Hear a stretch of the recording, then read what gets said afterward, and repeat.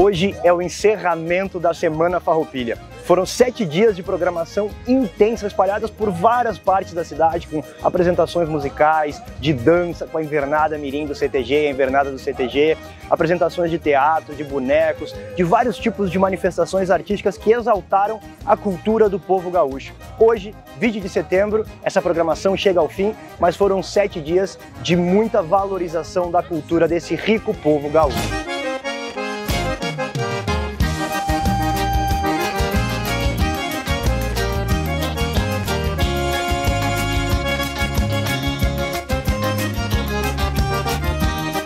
Nós somos do interior de São Paulo, representando aqui o interior de São Paulo, Ribeirão Preto, São José do Rio Preto e Jales.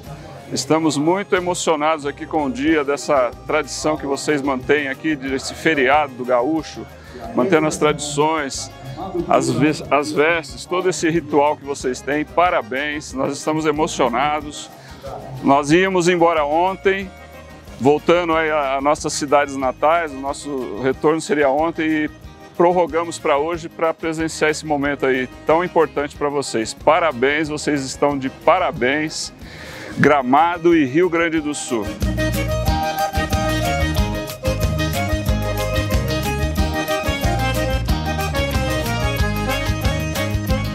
Nesse dia do Gaúcho, estamos aqui no Centro Municipal de Cultura, no Lago Joaquim, na Retabir, para homenagear essas prendas, peões, a todos os gaúchos e gaúchas que fazem jus a essa grande homenagem, esse culto à tradição, essa lembrança aos nossos antepassados que lutaram pela nossa liberdade.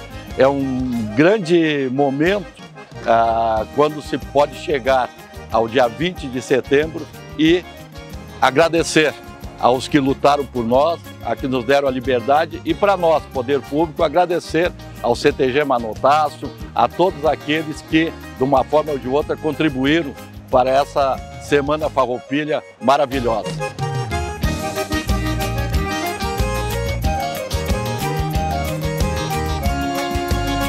Como foi bom compartilhar uma semana de tradição gaúcha com toda a nossa comunidade.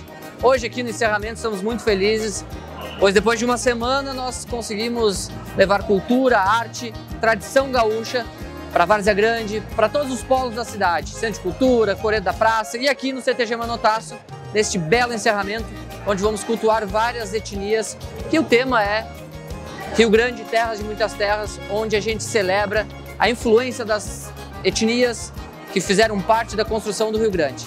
Então fica aqui o agradecimento da Secretaria da Cultura, da Prefeitura Municipal, ao CTG Manotaço e a toda a comunidade, em especial a comunidade gauchesca, que fizeram uma linda festa durante essa semana.